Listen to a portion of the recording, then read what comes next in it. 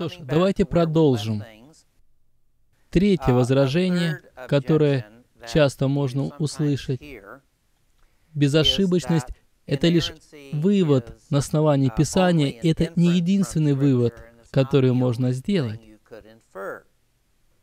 Один богослов, которого зовут Кларк Пенек, я сейчас напишу для вас на доске его имя.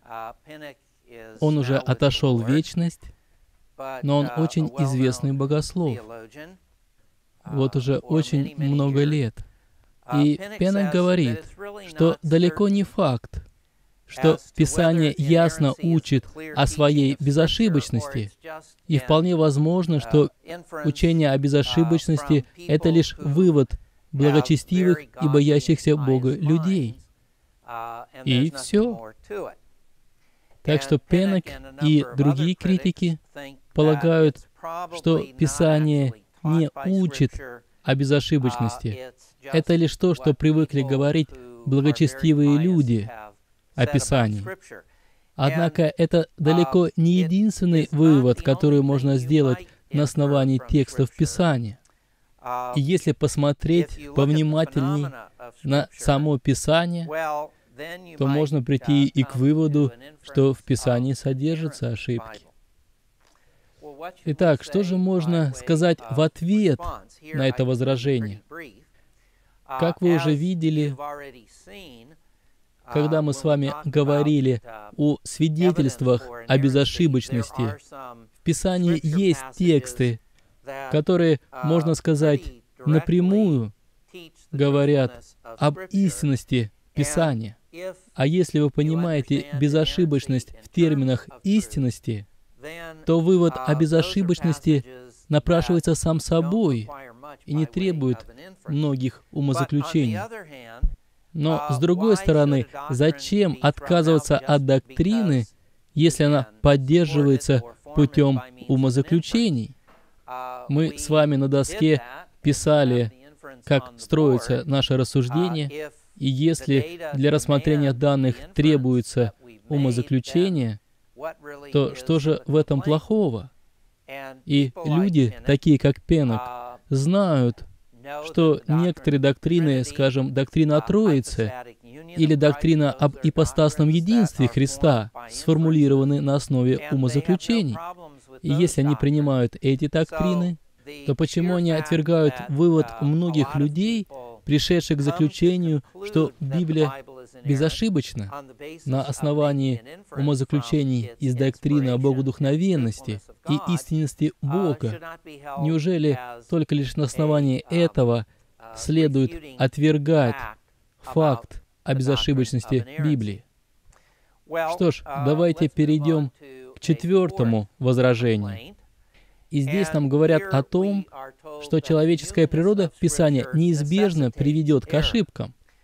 И опять здесь наш друг Пенок и также другие богословы, такие как Берхауэр, они утверждают, что уже много-много лет евангельские христиане слишком много внимания уделяли божественной стороне Писания, божественному авторству и недооценивали тот факт, что в написании Библии участвовали также и люди.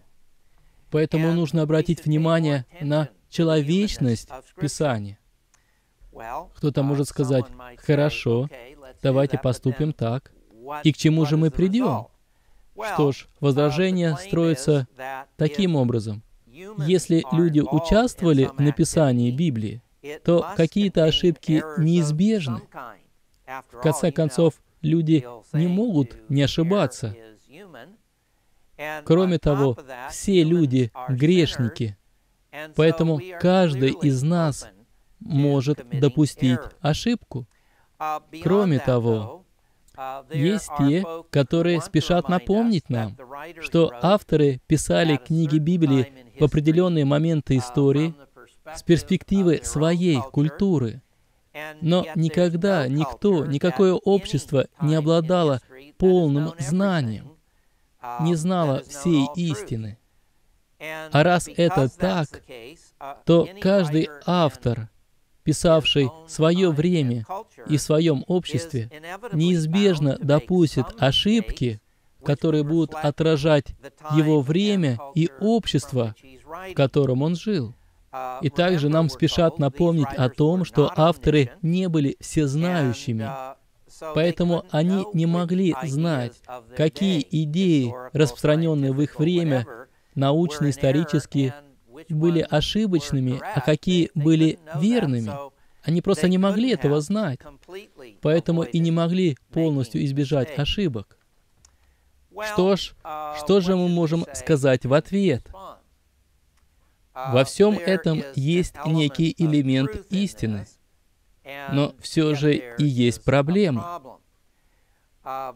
Никто не будет отрицать, что люди способны допускать ошибки. И мы, конечно, не отрицаем того факта, что все люди грешники, поэтому мы все признаем тот факт, что от случая к случаю люди, включая нас самих, допускают ошибки.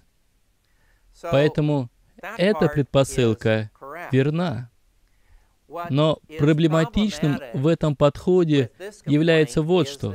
Здесь заявляется, что раз авторы были людьми, они наверняка должны были допустить ошибку.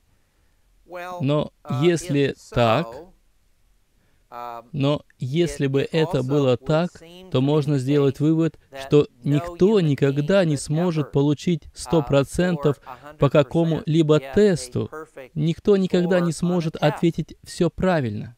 Если вы должны ошибиться только лишь потому, что вы человек, сделать вывод о том, что никто никогда не сможет сдать какой-либо тест абсолютно верно или какое-то задание сделать абсолютно правильно. Но мы знаем, что люди сдают тесты на 100%, причем происходит это нередко. Конечно, люди способны допускать ошибки, но это не означает, что они допустят ошибку неизбежно. Причем во всем, что бы они ни делали. И я думаю, по этой теме можно сказать еще вот что. Согласно этому возражению, мы призваны больше уделять внимание человеческой природе Писания. Но проблема этого возражения в том, что она опускает из виду божественную природу Писания. Если бы люди писали книги Библии, предоставленные лишь самим себе, без сверхъестественной помощи, без божественного руководства, то, конечно, в такой большой книге, как Библия, вам бы следовало ожидать ошибки. Но говоря о доктрине богодухновения, мы убедились, что авторы не были предоставлены самим себе. Дух Святой на самом деле участвовал в написании каждой буквы библейского текста. И хотя верно то, что авторы были ограничены своей культурой, общественными познаниями, и они не могли знать, какие представления, царившие в то время, были неверными, но этого нельзя было сказать о Духе Святом, который всезнающий. Поэтому со многим можно согласиться в этом возражении относительно природы человека. Но люди, которые возражают таким образом, не принимают всерьез тот факт, что Дух Святой также участвовал на каждом этапе процесса написания Библии. Приглашаем вас принять участие в глобальном проекте по распространению Евангелия и расширению библейского образования. От нас зависит, будет ли христианское образование доступным. Поддержите наш проект молитвой и финансами. Информацию, о чем молиться и как пожертвовать, вы можете найти на сайте tvseminary.com.